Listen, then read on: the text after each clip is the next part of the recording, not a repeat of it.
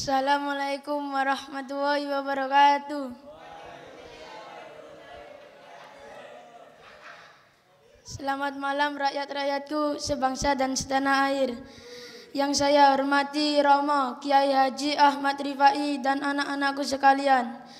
Pada kesempatan kali ini saya selaku kepala pemerintahan akan membahas tentang perihal COVID-19.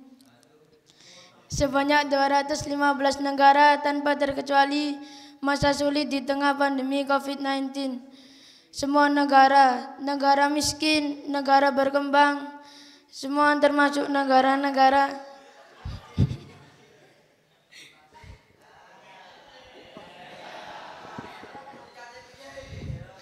Semua termasuk negara-negara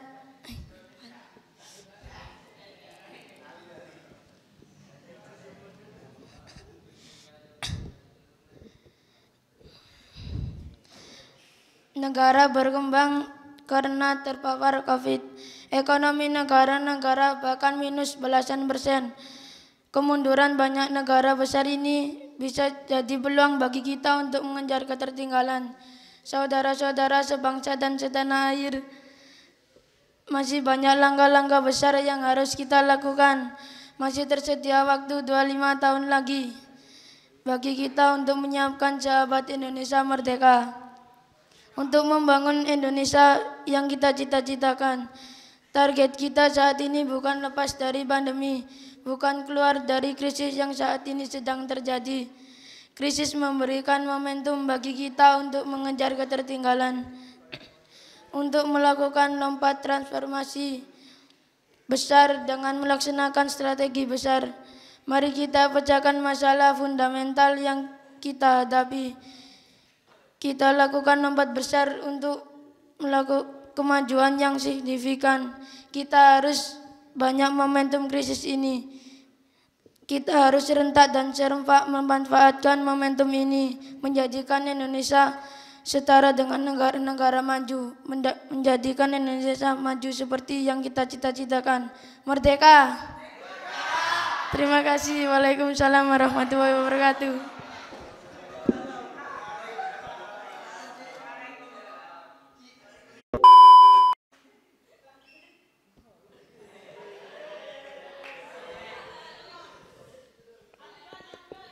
Assalamualaikum warahmatullahi wabarakatuh. Kakek-kakek makan kampak, nenek-nenek makan gas. Jawab salamnya kompak sih kompak, tapi kurang ngegas. Sekali lagi ya adik-adikku sekalian, yang ngegas jawab salamnya. Assalamualaikum warahmatullahi wabarakatuh.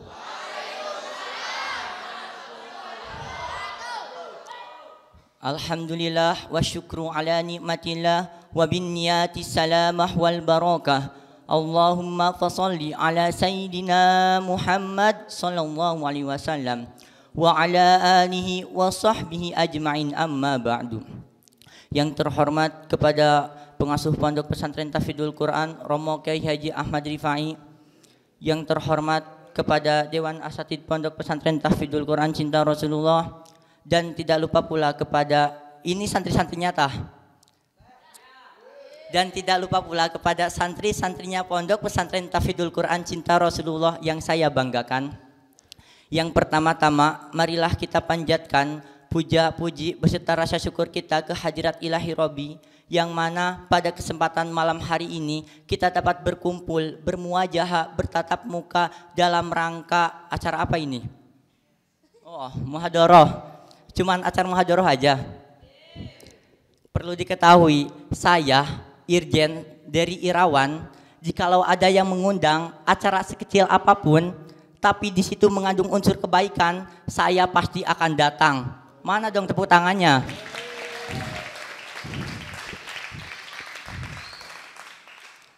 Tidak lupa salawat beriringkan salam mudah-mudahan tetap tercurahkan kepada junjungan kita yakni Nabi besar Muhammad sallallahu alaihi wasallam. Saya di sini sambutan saya tidak akan lama-lama soalnya saya juga sibuk, masih banyak jadwal. Saya di sini cuman berpesan ke kalian, pesan yang pertama ialah tidak semua santri yang di sini harus jadi kiai, tapi semuanya harus jadi kiai. Paham? Maksudnya tidak semua santri yang di sini profesinya harus jadi kiai, tapi semuanya harus jadi kiai di dalam profesi tersebut. Contoh, contoh saya, saya ini seorang pori, pori, porli, porli, por, seorang polri, seorang polisi.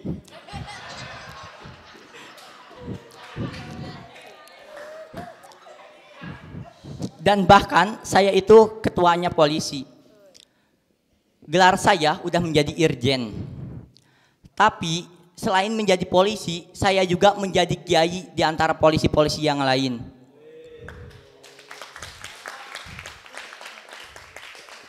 Di Kapolsek yang paling alim itu saya.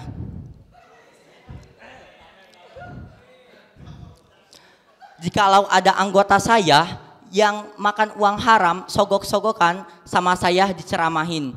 Ketika tetap melakukan, saya langsung pecat mereka. Ketika mereka melakukan maksiat sama saya diceramahin, tetapi ketika melakukannya lagi tak pecat lagi.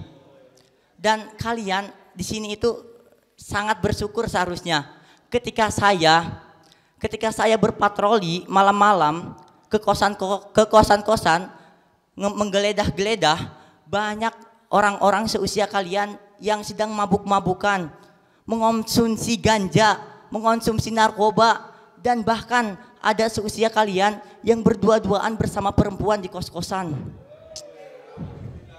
Astagfirullah.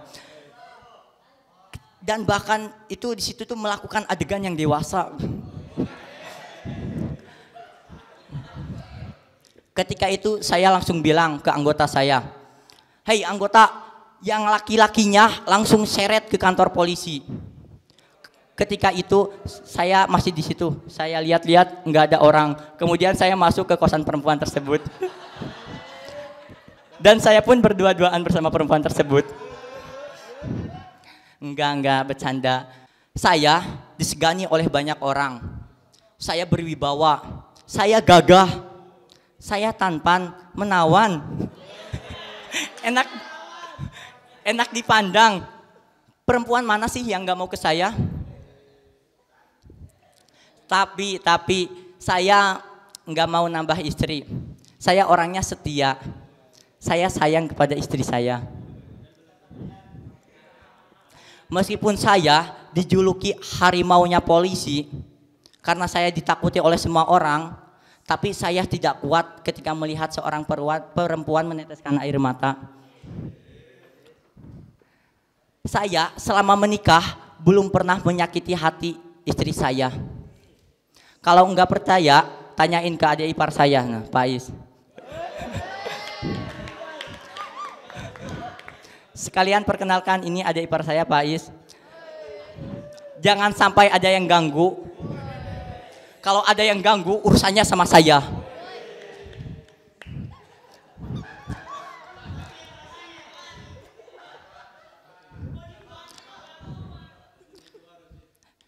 Lanjut pesan yang kedua. Pesan kedua ialah tidak ada yang namanya alumni tidak ada yang namanya alumni santri Abah Ripai. Sampai kapan pun kita tetap menjadi alumninya. Saya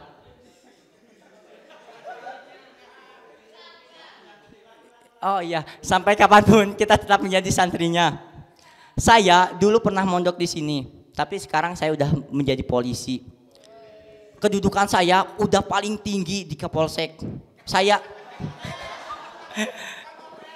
sama aja. Kedudukan saya ketuanya polisi seluruh Indonesia. Tapi saya kalau ketemu Abah tetap menjadi santri, tetap menjadi santrinya. Dan saya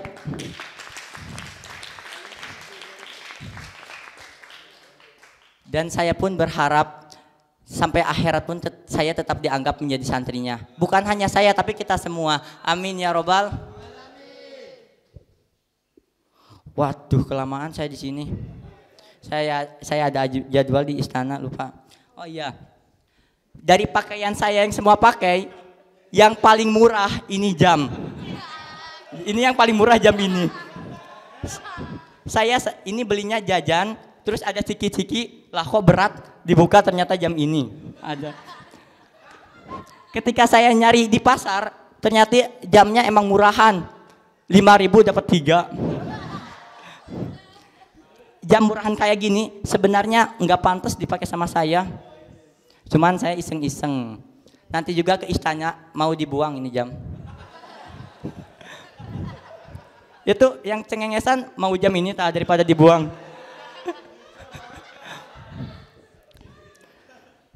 Sudahlah, sekian sambutan dari saya. Kurang lebihnya saya mohon ampun kepada Allah Subhanahu wa taala dan mohon maaf kepada kalian. Pantun jangan, pantun ya eh, eh di kloset dimakan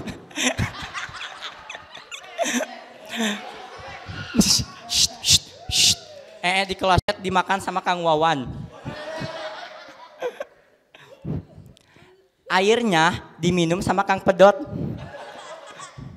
kalau ada kata-kata yang salah dari seorang dari Irawan sampai jumpa lagi lah kok gak maksud sih Woi, itu yang gak ketawa hargai dikit dong. Saya mau keta mau ngelucu, woi. Woi. Haha lucu gitu. Woi, haha lucu.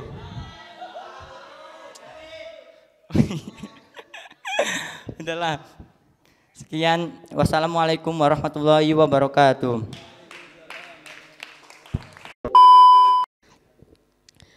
Assalamualaikum warahmatullahi taala wabarakatuh. Alhamdulillahi Rabbil Alamin wa bihi nasta'in wa ala umri dunya waddin A'udhu billahi min sururi anfusina wa min sayyiati a'malina. May yahdillahu fala mudilla wa may yudlil fala hadiya Allahumma salli ala sayyidina Muhammad la nabiyya ba'da amma ba'du.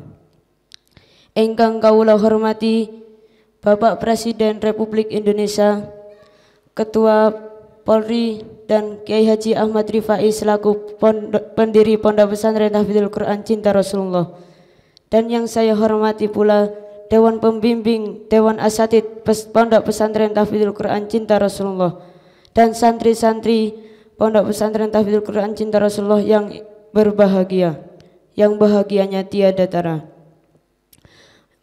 Pertama-tama marilah kita panjatkan puja dan puji syukur kita kehadirat Allah Subhanahu wa taala yang telah melimpahkan rahmat hidayahnya kepada kita sehingga kita dapat berkumpul di majelis yang insya Allah berbahagia ini. Kita ucapkan dengan bacaan hamdalah bersama-sama. Alhamdulillahirabbil alamin. Salawat serta salam tetap tercurah limpahkan kepada junjungan kita Nabi Agung dengan mukjizat terbesarnya Al-Quran. Siapa lagi kalau bukan Nabi Agung Muhammad Sallallahu Alaihi Wasallam yang telah membimbing kita dari zaman kebodohan menuju zaman yang terang benderang yaitu ad-dinul Islam. Kula sebenarnya buatan pantas lungguh mriki. Pak Presiden ini nang disor, Pak Polri ini nang disor, Kulo nang dhuwur ijen. Tapi wis disediakno enggak apa-apa wis. Sallu ala Nabi Muhammad. Santri-santri yang dirahmati Allah Subhanahu wa taala. Allah Subhanahu wa taala berfirman dalam surah Ali Imran ayat 261 yang berbunyi Maaf, salah. Surat Al-Baqarah ayat 261 yang berbunyi أعوذ بالله من الشيطان الرجيم بسم الله الرحمن الرحيم مثل الذين ينفقون أموالهم في سبيل الله كمثل حبة أنبتت سبع سنابل في كل سنبلة مئة حبة والله يضاعف لمن يشاء والله واسع عليم Perumpamaan bagi orang yang menginfakkan hartanya di jalan Allah Subhanahu wa taala Bagaikan sebutir biji yang ditanam menuju, menumbuhkan tujuh tangkai dan setiap tangkai ada seratus biji. Allah melipat gandakan siapa yang dia kehendaki dan Allah maha luas lagi maha mengetahui.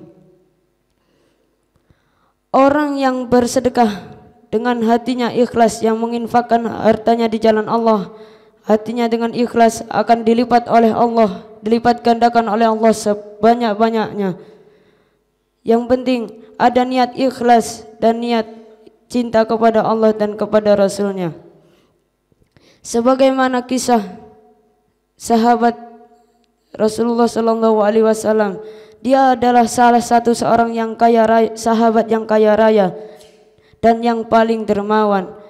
Dia termasuk orang yang dijamin masuk surga dan termasuk ashabikun al. Dia adalah Abdurrahman bin Auf radhiyallahu an. Abdurrahman bin Auf radhiyallahu an adalah sahabat yang paling dermawan. Meskipun kaya raya, kekayaannya tidak membuatnya kufur dan tamak sedekah tidak buat untuk ria. Di suatu saat ketika Abu Bakar As-Siddiq memanggil Abdurrahman bin Auf, Utsman bin Affan, Zubair bin Awam dan Sa'ad bin Abi Waqqas. Abu Bakar As-Siddiq mengenalkan Islam kepada mereka dan mengajak untuk masuk Islam.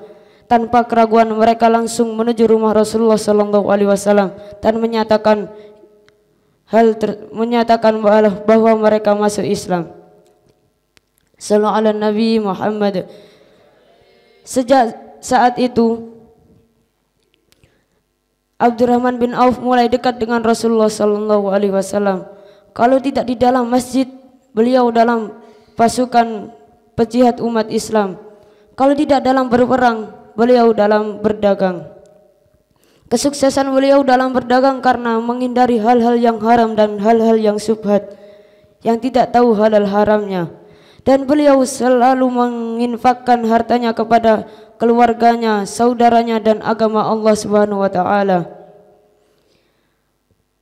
Abdurrahman bin Auf radhiyallahu an gemar semakin giat dalam bersedekah dan berinfak semenjak dinasihati Allah Rasulullah sallallahu alaihi wasallam. Wahai Ibnu Auf, engkau dijamin masuk surga. Tetapi engkau termasuk golongan orang-orang yang kaya. Engkau masuk surga dengan cara merangkak. Maka bersedekahlah kepada Allah Subhanahu wa taala, niscaya Allah akan mengangkat kakimu. Sabda Rasulullah sallallahu alaihi wasallam.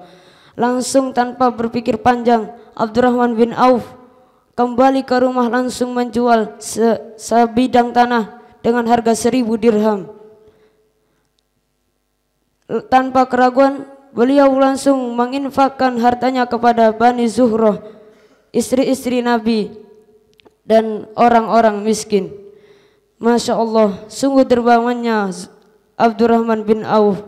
Tanpa berpikir panjang baru baru saja mendapatkan keuntungan sudah langsung disedekahkan kepada kepada orang-orang yang lebih membutuhkan.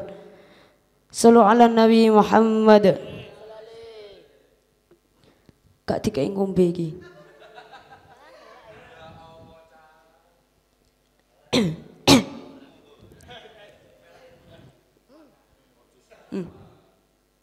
Ngombe tak kang gak apa-apa.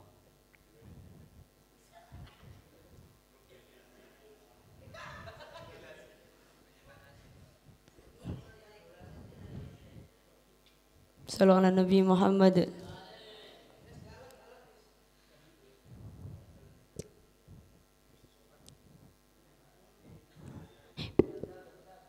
Gak usah repot-repot.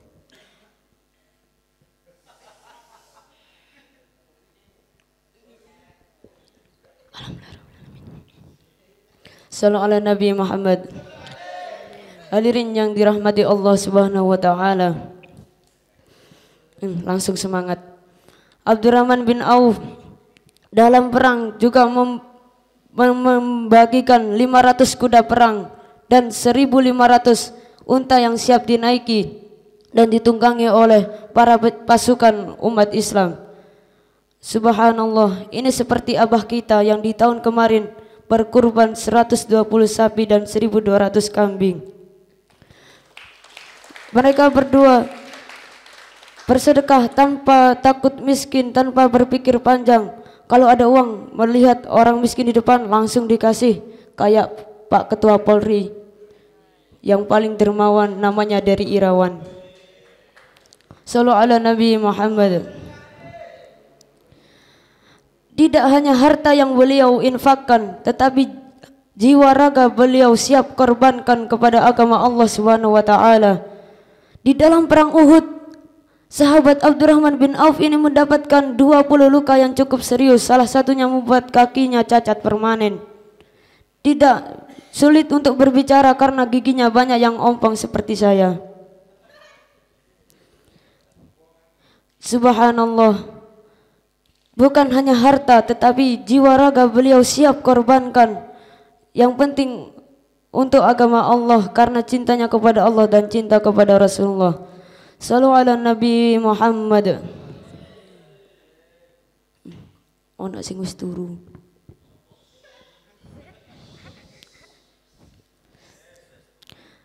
Bahkan beliau ketika sesaat mau meninggal Allah mau menjemput ajal beliau Beliau berkata, saya tidak saya takut tidak bertemu dengan sahabat-sahabatku karena harta yang harta kekayaan yang saya miliki. Apakah sudah cukup untuk kebutuhan umat Islam? Dan sahabat yang di sampingnya menjawab, Alhamdulillah wahai Ibnu Auf sudah cukup. Dan beliau tersenyum.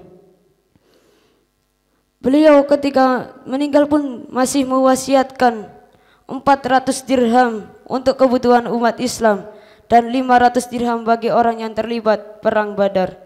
Subhanallah, Masya Allah. Sungguh dermawannya Ab sahabat Abdurrahman bin Auf. Semoga dapat menginspirasi kita untuk generasi yang lebih gemar bersedekah, gemar berinfak. Bukannya pergi Jumatan membawa uang 2000 tapi pulang-pulang membawa es tebu. Belanjain temannya lagi. Kayak saya. Mungkin cukup itu yang dapat saya sampaikan. Kalau kurang ditambahin sendiri, kalau lebih dikurangin sendiri. Kalau sudah pas silahkan dimakan.